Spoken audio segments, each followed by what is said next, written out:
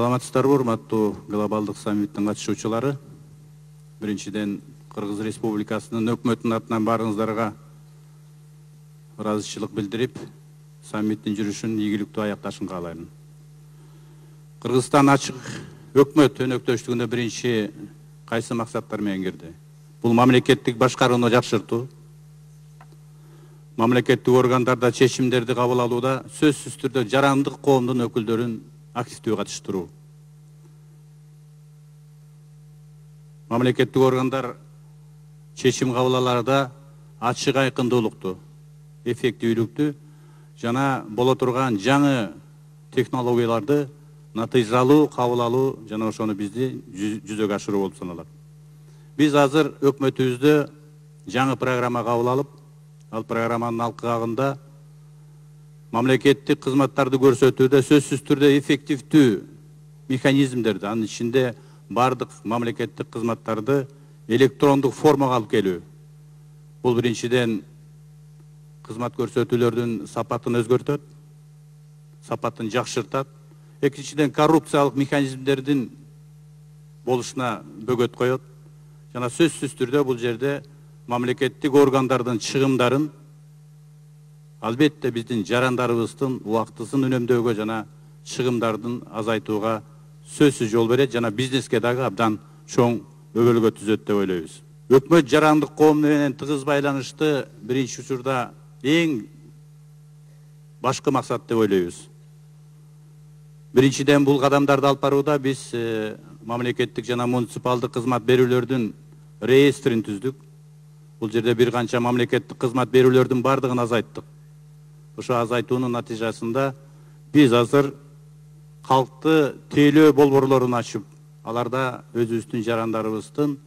кызмат алуусун эң натыйжалуу формага алып келүү боюнча иштерди жүргүзүп жатабыз мындан тышкары мамлекеттик органдардын өзүнүн кызматташуу боюнча электрондук формасына абдан чоң көңүл бөлүп жатабыз электрондук формадагы кызматташуу түндүк программасын иштеп чыгып бул жерден дагы биз өзүнүн бир платформаны ойлоп чыгып ошол платформада баардык мамлекеттик органдар көрсөтүүчү кызматтардын өзүнүн бүт маалыматтары болуш керек деп биз ушул жака абдан чоң көңүл бөлүүдөбүз сөзсүз түрдө биз ачык өкмөттү уюштурууда улуттук форумду түздүк. Ал форумга бизде баардык жарандык коомдордун өкүлдөрү катышты жана мамлекеттик органдардын өкүлдөрдү. Анан бизде парламенттеги депутаттар катышты. Бул парламенттеги депутаттарыбыз да ошол өкмөттүн ишиндеги ачыктыкты айкындуулукту жеткиликтүүлүктү ушул жарандык коом менен бирге алып барат деген ойдобуз форумдун иш чарасын бекитүүдө абдан чоң талаш тартышуулар болууда азыр бизде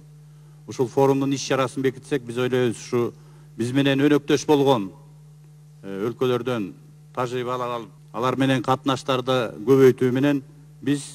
сөзсүз түрдө жанагы жарандык коомго ачыктуулукту финансылык тармакты ачык айкын пайдаланууну финансылык ресурстарды жарандарыбызга тең бөлүштүрүү менен ачыктык менен жеткире турган маселелердин баарын көтөрөбүз деген ойдобуз сөзсүз түрдө биз өнөктөштөрдүн өнөктөштүн өзүнүн принциптерин баарын сактоого кыргыз республикасы ол декларацияда каралган баардык укуктарды өзү сактоо менен бирге өзүнүн дагы салымдарын кошуп турууга өзү дагы күч аракетин жумшайт деп биз ишендирип кетебиз. Улуттук планын ишке ашырууда сөзсүз түрдө биз өзүбүзгө өнөктөш болгон партнерлорубузду өнөктөштөрүбүздү чакырып кетебиз. Ошол биз жаңы мамлекет жаңы ушул ачык өкмөт форумун уюштуруп жатканда силердин тажрыйбаңар силердин берген кеп кеңешиңер бизге чоң жардам берет деп. Мунун алкагында биз биринчиден баардык мамлекеттик ресурстарды финансылык ресурстарды